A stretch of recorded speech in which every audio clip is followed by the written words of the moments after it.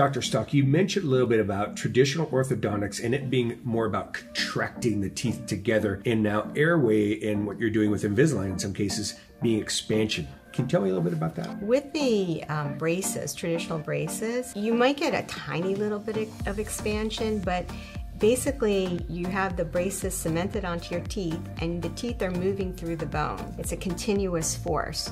With Invisalign, it's not a continuous force and the bone moves with the teeth. Mm. With the DNA appliance, it's something similar. It's even uh, more interrupted. Uh, it's not a continuous force because you're wearing it 16 hours a day. And it's stimulating so that the bone is going with the, the teeth and you're growing bone. You're changing your palate, you're growing it wider. Wow. And so the expansion is actually happening, not just the teeth are moving out. It's not just the teeth are moving out.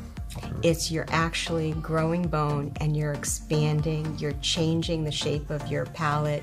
You might be changing the shape of your face a little bit, making it wider and less narrow. Yeah, you're you're it's really exciting. It's really amazing actually the, the changes that can happen by doing this treatment. And then the result is now I have more volume to bring in more air. I'm being more oxygenated. I'm sleeping better and now I'm not exhausted and falling asleep at uh, at work during the day. Exactly.